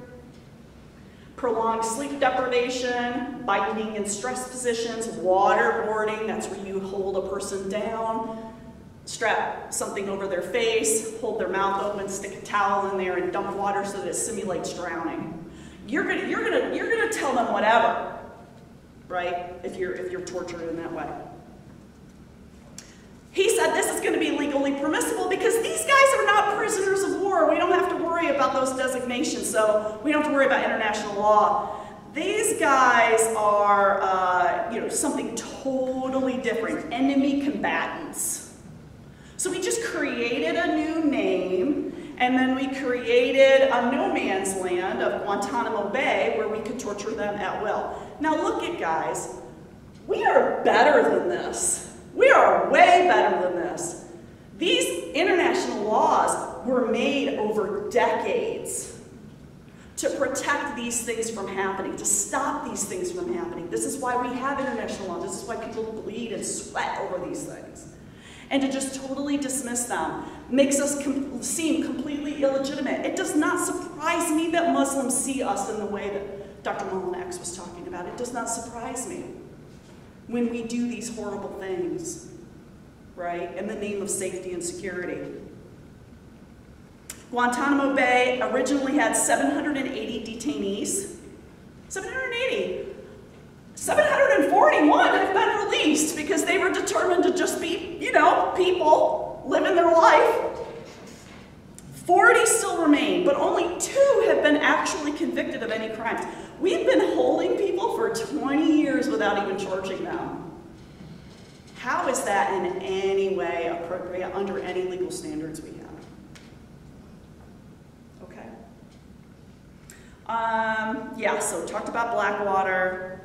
Uh, we, every time these things happen, every time these things happen, um, we create more and more and more terrorists. So show the next slide, and I apologize, there's some graphic, graphic images here. This is Abu Ghraib. This was a prison under Saddam Hussein in Iraq where everybody knew that's where the bad ones went to be hung and tortured. This became a prison run by the Americans once we overthrew Saddam Hussein. And we would take whoever somebody decided to accuse was a terrorist or was an insurgent, and we tortured them. American service personnel tortured them. This is called the Vietnam. A man is strapped to two wires on his fingertips and told that if he steps off the box, he'll be electrocuted and dies.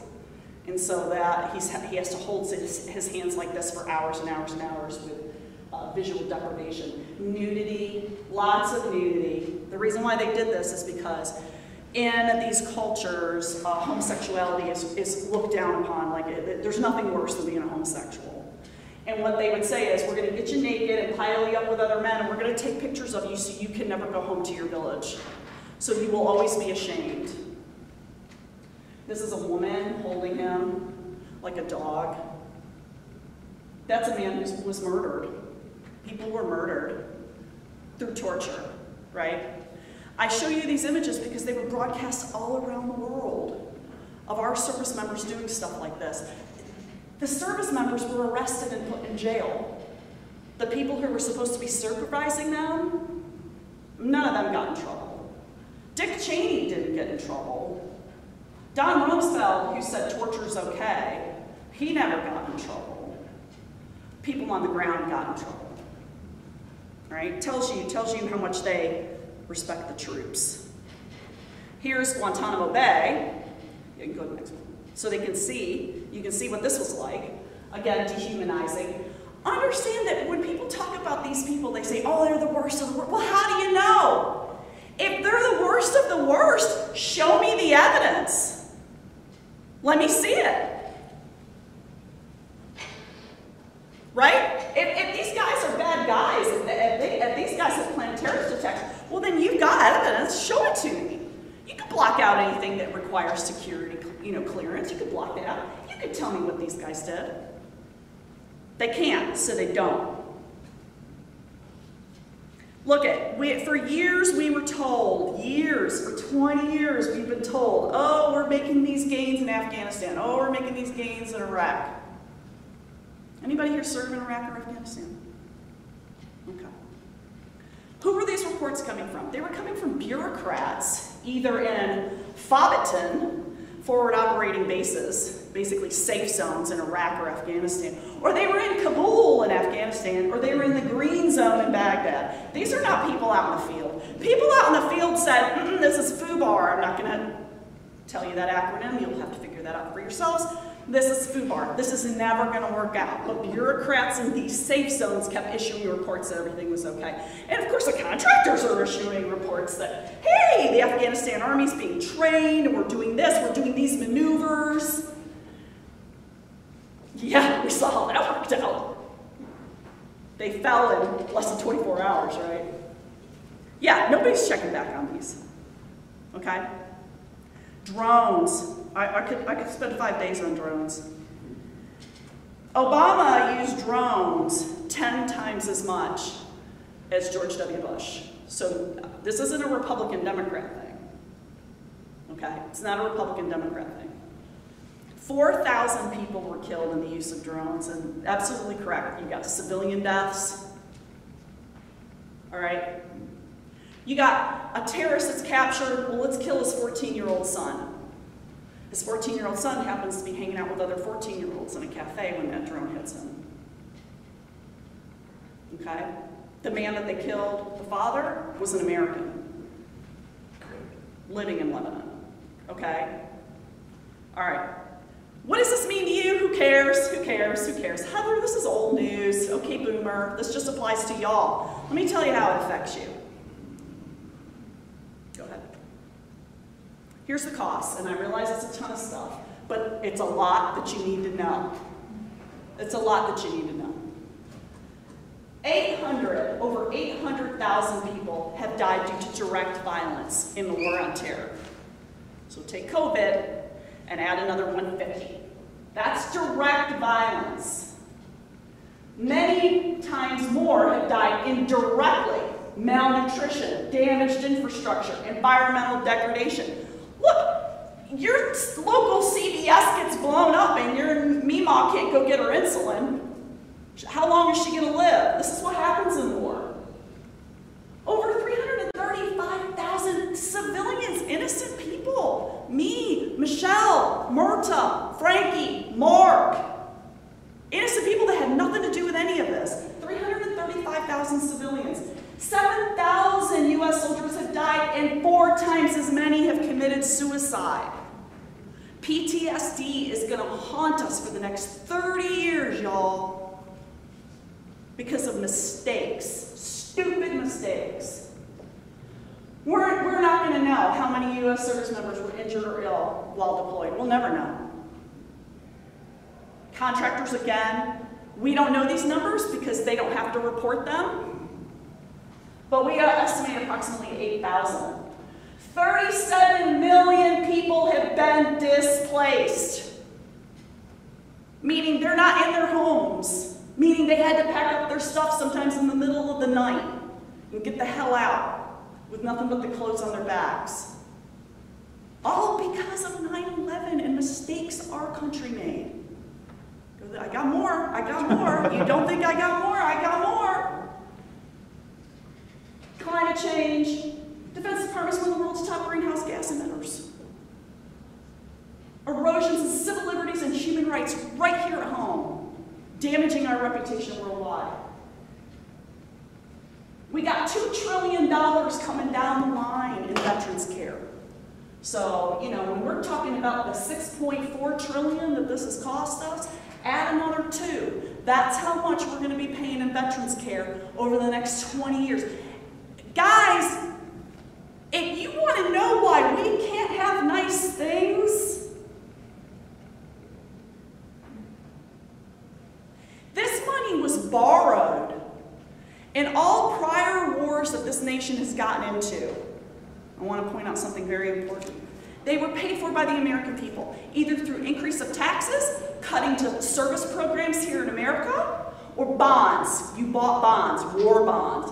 A mixture of those three things. None of that happened during these wars. In fact, we got tax cuts. Where was the money borrowed? China, Japan, we're going to be paying more on interest on these loans, $8.5 trillion, than we're going to be paying for most of the social services we're going to be getting over the next 20 years. Okay? Yeah, lots of fun. Go, yeah, go to the next one. It doesn't get any better. Look at this is something I want you to think about. There's 1.3 million active duty personnel. That is less than one half of 1% of American people have served in these conflicts. Less than one half of 1%. So 99.5% had no skin in this game. And we had no money in this game because it's borrowed. So we didn't feel the effects. The American people weren't pounding on the election voting booth saying, I want an end to these wars, because it didn't affect us. It will later. In the war on terror, U.S. leaders are essentially bankrolling these wars with debt that you guys are going to be paying. So you heard a little while ago, you're welcome. This is why, this is why there's no conversation about your free college. This is why there's no conversation about greenhouse gases and trying to affect climate change. This is why we don't have high-speed rail. This is why we don't have child care. This is why we don't have the things that other developed democracies have, because we did this. We chose to spend six and a half trillion dollars on stupid wars in 85 countries.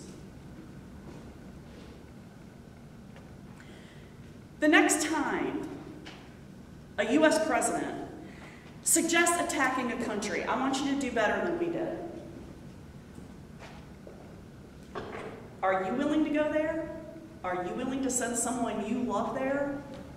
If the answer is no, don't support it. If next time a president wants to go to war, are you willing to give up 10% of your paycheck? If the answer is no, don't support that war. Am I, am I making sense? Okay? If you can't find it on a map, don't go to war with that country. Okay? Look at, uh, uh, uh, you know, Grip, Grip got all uh, uh, fire and brimstone, so I'm gonna, I'm gonna, I'm gonna do a little bit. You put a Punisher sticker on your truck, you are not supporting the troops. You write a nasty post about Colin Kaepernick, you're not supporting the troops. By the way, Colin Kaepernick was advised to kneel by an army, by a Navy SEAL who was a friend of his who was another football player. So next time your dad talks about Colin Kaepernick, you tell him that.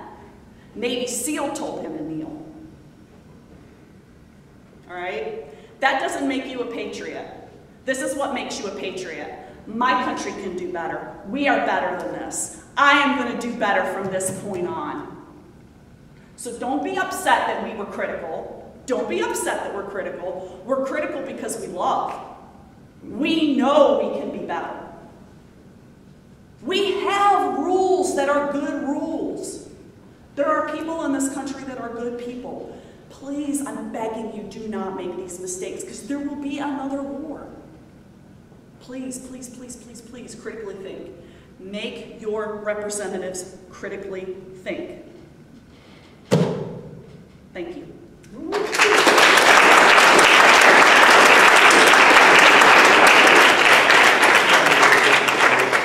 Yeah, we, did you you guys write questions or do you just want to openly do your Q&A? You want, you want to collect the questions or you just want to ask?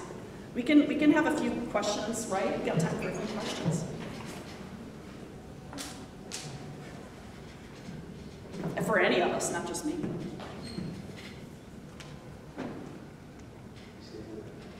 Don't be shy. I have a question, but I want a student to ask a question first. Who, what? I want a student to ask a question first, and then I'll. I think Raleigh has one. Emma does. Frankie, you got a question. You got opinions all day, son. Give us a question. Um, you talked a lot about uh, that we're still overseas in a lot of different countries.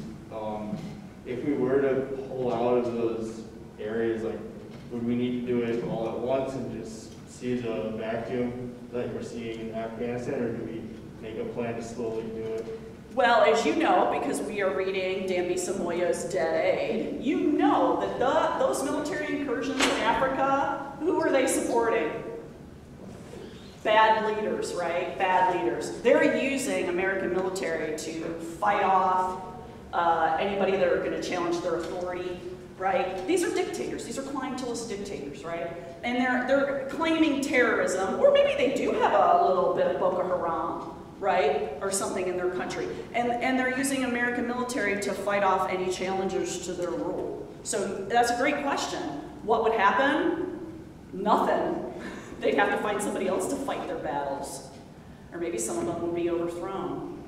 No, we're spending money and upholding a lot of terrible regimes all over the world, and I think those 85 countries are definitely examples of that. In the name of fighting terrorism. Good question. Yeah, Brett, you want to ask yours? How do you decrease the appeal of extremist ideologies in some of these countries? I didn't hear, I didn't hear what you said. That's John's question. How do you um, reduce the level of extremism? I mean, that's, The appeal is, the appeal is true. yeah, the appeal to extremism. You know, that was a lot of, a big conversation with U.S. allies like Saudi Arabia afterwards, because Saudi Arabia, there's kind of, I mean, Salafi jihadism came from scholars and intellectuals like Qutb in Egypt, uh, uh, in Pakistan, and then you have in Saudi Arabia under the Wahhabi, a very strong Salafi state, but not just jihadist. So there was some reckoning there. They've gone through some reforms. There's talk, I mean, in, Jan- in February of, of this year, Saudi Arabia went through some reforms. You know, recently women driving, things like this. But the thing is, Saudi Arabia is, they're in a very difficult situation. The more reforms they open up in terms of loosening their social fabric, create can create, uh, you know, re, um, backlash from um, extremist um, madrasas and everything else there. And if they don't, then there's tension between Western allies. So I, I don't know that answer. That is like one of the big questions in the world. Like how do you reduce this poverty? Is always going to be mentioned, right? Impoverished young Arab men, especially who are idle, are going to become, you know, um, wrapped up into that world. You know, and Osama bin Laden wrote in his letter to America in 2002 exactly why he was pissed off and exactly why he attacked America. And it was pretty basic stuff, like, you're, you're in our holy lands, Mecca and Medina. You, we don't want you in Saudi Arabia. We don't want you coming into our countries and telling us what to do and exporting your values and your ideals. Okay, like that, uh, I, I can live with that. I take a little bit of different, I take a bit of a different angle on that. There, I look at those as like exacerbations and, because when I study ideology, at least what I did with like the Japanese, I, and looking at the Cold War with the Soviet Union, I'm, starting to think, well, when people start, the leaders start talking about ideology, there's a tendency that you may want to start believing what they're saying and how they believe. Typically, they really, the evidence suggests they really do believe as deeply and deep-seated in some of their convictions. And I always wonder, really, what, I'm not a big fan of blowback assumptions in history, like there were these things that then created the radicals that then responded. For example, some people respond to, say, in 1924, the Immigration Act, which was ridiculous toward the Japanese, that things like that led to Pearl Harbor. They exacerbated. They, I don't know if they created, would like um, the U.S. not some policy in Saudi Arabia would have would it have necessarily de-radicalized Al Qaeda? Would they not have acted in, what, in the way they did? I think their convictions were so strong about a global jihad. I still think they are, but I'm not sure. No, certainly, you don't want to create tensions and exacerbate things. And the U.S. has been, I think, more sensitive about that. Don't bring soldiers near Muslim holy sites. That's not a smart thing to do.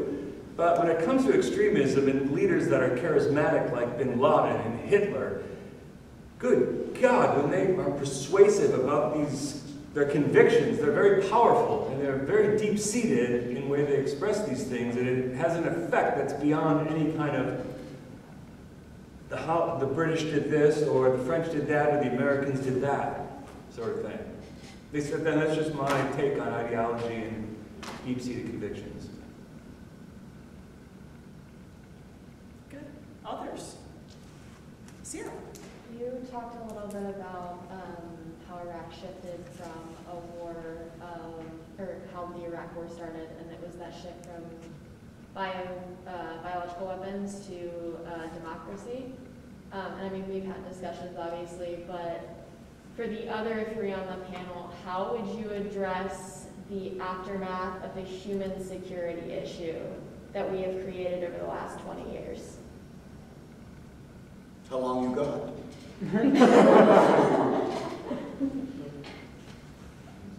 Yeah. I don't have an answer for that. That, that. that's, that's, that's a dissertation on steroids. Uh, I, I mean, I, don't, I don't have an answer. I, I don't know. I, I, I, I don't know. What are you meaning by human insecurity issue?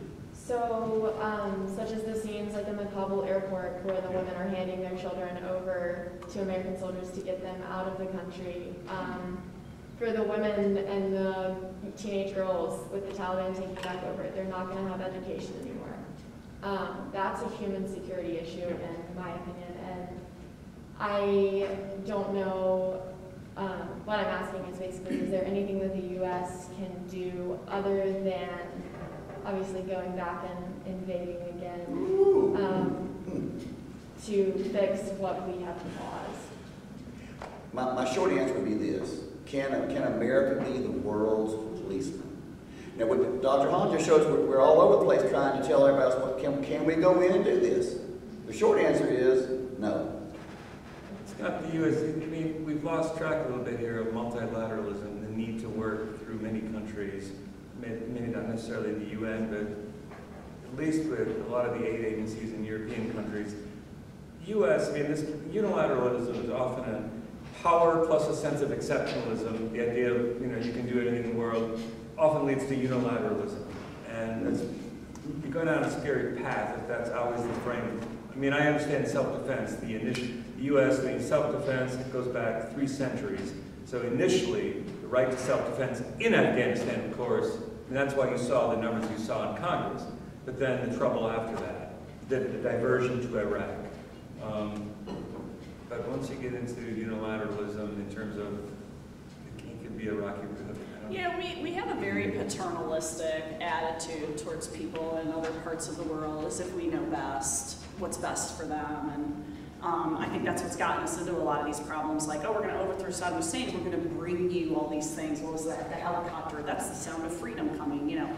The idea, it's, it's the old white man's burden, you know, the idea that we should control colonies and we should tell other people what to do. And at the end of the day, yeah, we, we definitely have created an enormous mess in Afghanistan, but it's up to the Afghani people to make those choices. And people are going to suffer, and people suffer all around the world. But at the end of the day, we can't just be going everywhere and fixing everything. I think we have to have a change of mindset that the, that does the world even need fixing? You know, like people need to do some of these things for themselves, and I can trust other people to make these decisions. And hey, it may not be a country that I want to live in, these may not be rules I would accept, but that's me, right? I, I yes, I saw the pictures in Kabul, and they're awful, and they're scary, and they're terrible. But understand, Kabul is a country of, uh, Kabul is a city of about 100,000 people. And there's millions of people in Afghanistan, and for the vast majority of them, their life was not different under U.S. occupation of Kabul. It was better for women in Kabul, but outside in the rural areas, nothing changed. I was listening to a soldier and given an interview, and he said, I literally had to take weeks to explain to some of these villagers that I was not Russian because they didn't know the difference between Russians and Americans because that's how many times they've been invaded.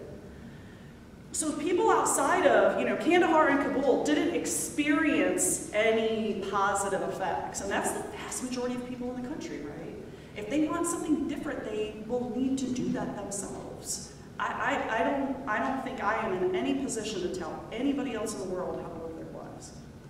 I have, I have a question for you. Say we, say we do that, we want to go there and, and solve this. The next war, the women are going to be, are, are going to be uh, drafted, just like my, my grandsons. You ready? I'm just, I'm just saying, because if if we keep sending people, we're gonna have to draft again, mm-hmm. and there's no reason in the world why you ladies can't go with my, with my grandsons. I'm, ju- I'm just saying. I completely agree with you, but my viewpoint on that is that there shouldn't have to be a draft. We shouldn't be, not, not saying that the draft right now shouldn't be a thing, but we shouldn't have to force people to fight a war they don't want fight. Mm-hmm. You mean like Vietnam? You mean like Korea? You mean like World War One and Two? Yeah, if, if it's not worth, if, like I said, you, you use my little two-part analysis. If you're not willing to go serve yourself, then that's not a war you should support. If you're not willing to give up 10% of your income, that's not a war you should support, period. Don't be sending other people to do stuff. Don't be uh, spending borrowed money. I know that's the way Sierra feels. You know, it's, if it's if it's not a, a war worthy of, of your investment, then it's not a war worthy. I'm just saying, if, if there is another large action, a draft is inevitable. Yes, sir. And who's, and listen, I'm, I'm just talking, we're, we're, we're good, I'm just discussing, I'm like, I'm not being mean to you, I'm just, it's just how I teach. We- You're gonna have to go. Okay, I'm too old to go. I'll, I'll clap for you as you go. okay. That's, I can, I. Although he's that's probably fair. packing right now. Well, I'm definitely armed. I love you though. my response is that, uh, this may be, not be exactly right on with what you're talking about in the, in the uh, Kabul Airport. But, uh, the United States has had ever since the Puritans this idea that we are a city on a hill, we have this American exceptionalism, we can do no wrong, our rules can be easily broken because we're, we're Americans.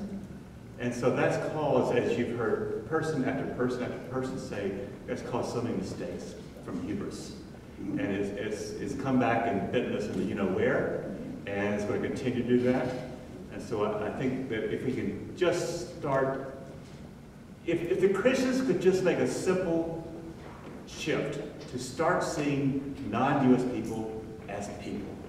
Or we don't need to worry about the Christian-Muslim divide at all if everybody just becomes an atheist. Just throwing out. I, I, I don't agree with that, I'm just letting you know. I do. I don't agree with that, I'm I just saying, do. because I'm, I'm looking, I'm, But As a Catholic, I'm not sure what he means by Christian. I'm not finished, I'm not finished. Back in 1976, when I was a senior here, I went on a camping trip around the world. And I stood right here and talked about it after I came back. But it was during, it was mostly Muslim countries. And it was during the month of Ramadan. And in the month of Ramadan, Muslims had to fast and they get kind of get ornery at the very end of the day. But in every country I went to, my money was no good. Uh, the, uh, the hospitality was unbelievable. Uh, I made so many friends. I still wrote to them for years and years. And just to have that kind of experience is to, and and not be the ugly American or the proud American, but just a friend. And, and that was so helpful for me. And that's the kind of the basis of what I'm trying to say is, you know, don't be a, don't be a dick. Okay? All right. It's good life advice. Pretty much that's the basis of every religion. Something just related to what you said, I, I don't believe in cultural imposition and certainly on things like nation building. I worked in certain places like Japan because the conditions were in place for that to, to happen. But um, I would say, as somewhat of a fan of the Enlightenment, that you know, in such a diverse world of seven, 7.5 billion people, that ideals of secularism, in a very pluralistic, diverse world, respect and tolerance for minorities, I think that would go really far in a world of today. So, in that way, I'm not for cultural, cultural imposition, but certainly for advertising it. I just wanted to say that I really love being back in person and hanging out with wonderful colleagues and being smart and sharing. Thank you guys so much for coming. I really appreciate your patience and good questions. And if you have any more, you want to come down and talk to us, please feel free to do that. But thank you guys so much. Thank you all.